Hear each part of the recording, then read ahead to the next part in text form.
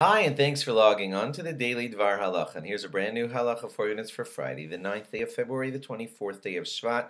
Here we go. We're continuing in a short little unit here, discussing the malacha, the work of sewing on Shabbos. You're not allowed to sew on Shabbos. It's one of the 39 prohibited things.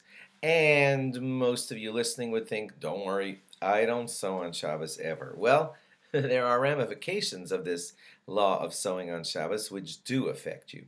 For example, the question has been asked, that's going to scare you, but um, shoelaces.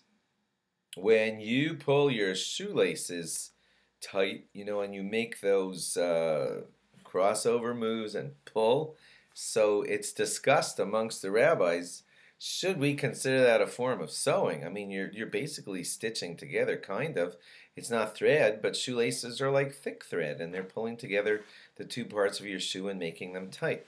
So rest assured that your tying your shoelaces is fine.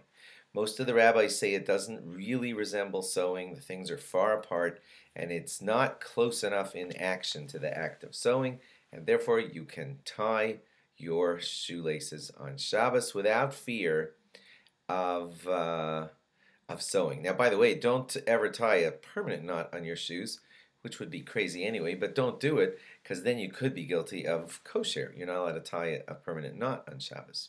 Okay. And now on to temporary sewing. What if you just temporarily pull two things together with a real, real sewing stitch? Since it's temporary, it might not be called sewing, so guess what? That's a machlokas. That's an argument amongst the rabbis. Some consider temporary sewing to be real sewing and prohibited, and some consider it fine. Who cares? Like, why does it matter to you?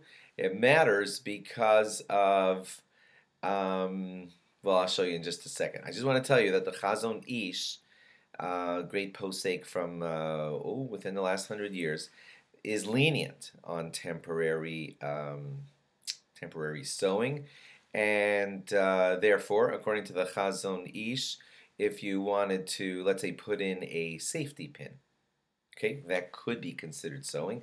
You're pulling together two pieces of material, let's say, with that safety pin. So the Chazon Ish says as long as it's temporary, because he allows temporary, then you're, in other words, you're pulling that safety pin out within the day. So he would consider it okay to use a safety pin if it's temporary. Rav Moshe was more lenient and said, safety pin is not tofer at all. It's you, you can always use a safety pin, and it's not considered sewing at all. That is our custom, you'll be happy to know. So the use of safety pins um, are totally allowed. This would be important because if you're about to step out on Shabbos morning and you notice the hem of your pants or your skirt, um, is down or hanging down a little bit and you want to just pop a safety pin in for it, according to Moshe, and that is our custom, you are allowed to pop in that safety pin um, and that would make it allowed. The reason that Rav Moshe allows this is because he says pins are not really acting like sewing, they're more acting like a button. They're made to open and close. Now it is true that a safety pin could hold for a long, long time, but so could a button. If you didn't pop the button, the button could keep your jacket closed. If you didn't need to get out of that jacket, it could stay like that for months. So it's, but they're meant to open and close, meant to open and close, and therefore buttons, buttons and buttonholes are okay, and safety pins and safety pin latches are totally okay according to Moshe. So go ahead and fix that hem with a safety pin.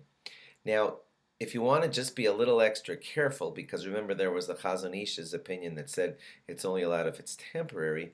So in deference to that opinion, we don't want to, uh, you know, avoid that opinion too. So some people recommend that you use a large safety pin instead of a small one. The reason is because the small one is so unnoticeable that you're apt to leave it there for months, and that's permanent. And Rav, uh, the Chazon Ish didn't allow permanent.